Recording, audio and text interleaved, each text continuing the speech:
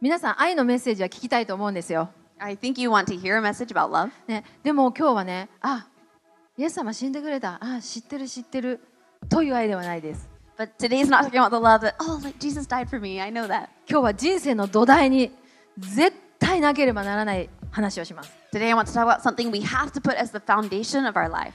皆さんイエス様が十字架にかかって死んでくださったこと感動してますか Everyone, are you moved by how Jesus went to the cross and died for you?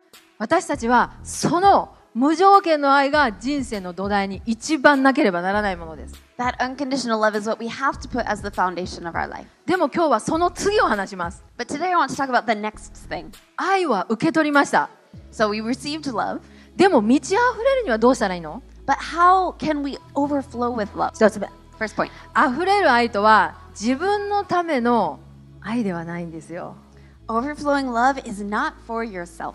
This 自分の利益を求めない love is never selfish. なのでイエス様愛なので皆さんね本当に、えー好きなものを食べてください、And so, just because you have love, you can eat what you like. ね、自分を愛す愛してください You can love yourself.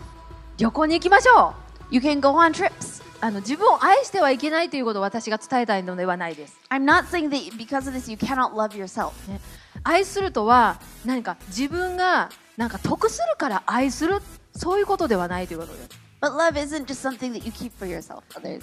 愛とは、ね、自分のための愛ではないと言いましたけど愛とは人々を愛するための愛なんですよ Love is actually something that's given us to love others. そのモデルは誰 And who is our model of this? ねイエス様じゃないですか It's Jesus, right? もうイエス様がモデルじゃないですか Jesus is our. 私たちはこのモデルを持ってます And we have this role model. そしてその方はどこにいますか And where is he?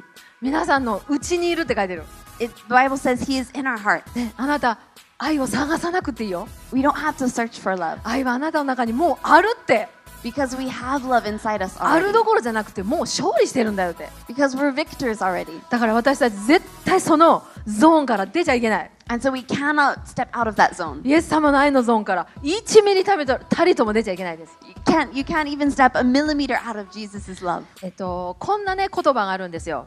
There's this saying, イエス様の愛知ってる。知ってるじゃないということです。and so if you know God's love, あ、昔々聞いた。Like if you're like, oh, well, I heard about it a long time ago. そうじゃない。表現するまで愛じゃないんです。But that's not love until you actually express it. それが表現で表すのが礼拝なんです。And the way that we express that is through worship. 誰かにプレゼントすることもそうでしょ Or giving someone a present is the same う。thing. それぞれ愛にはいろんな形があります。There are so many different shapes to で love. も愛は表現することによって愛になるんです。But love becomes love when it's expressed. 祝福はどう How about blessing? 神様祝福ください、祝福ください、祝福くださいって祈ってると思います。Some of us, we can pray, Lord, bless me, please bless me. いついつまだ私はまだ When, like, when is my blessing coming? Not yet. そうじゃないって書いてます、But that's not what this says.